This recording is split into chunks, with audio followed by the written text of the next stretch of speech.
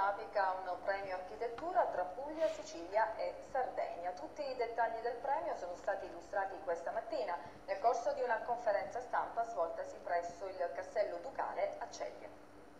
Questo è un tentativo originale di valorizzare le abitazioni tipiche del proprio territorio. Io vengo da un comune che è soprattutto vocato per il balneare, la Costa Smeralda, però abbiamo notato che eh, quest'ultimo decennio eh, la cultura è cambiata, non si vuole più solo sole e mare, ma se io vado in vacanza voglio anche identità, voglio natura, voglio ambiente e voglio anche quel rapporto umano che eh, a volte nel balneare invece manca perché è asettico e quindi abbiamo detto vediamo un po' quali sono le identità similari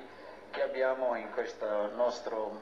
mezzogiorno d'Italia. E ci siamo trovati ed è stata una, una, una scelta fantastica perché io sono rimasto estasiato da quello che ho trovato in questo territorio, soprattutto qui a Ceglie, nelle sue grotte, nei suoi trulli, in, in un'organizzazione anche architettonica del passato che pensò che non esistesse, dico la verità e noi eravamo quasi glorificati per i nostri spazi. Qui c'è altrettanta cultura, forse più che da noi perché noi siamo un popolo più,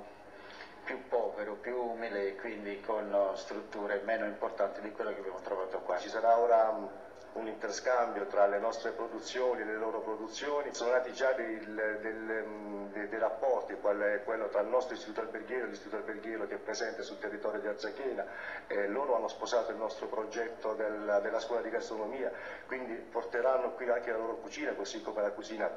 di pantelleria, insomma si è creato un bel connubio che sicuramente andrà avanti negli anni e ci darà grandi soddisfazioni. Questo deve essere appunto il momento di partenza per la conoscenza e la valorizzazione del territorio di, di Pantelleria e quindi della sua cultura che nonostante l'insularità è una cultura prettamente contadina. Ho avuto modo di vedere i trulli qui a Ceglie, che giudizio si è fatto? È un, una cosa unica al, al mondo, forse, eh, forse, credo ancora più unica del, del Dammuso. Ognuno, ogni struttura ha la sua peculiarità e ogni struttura eh, rappresenta il, il territorio.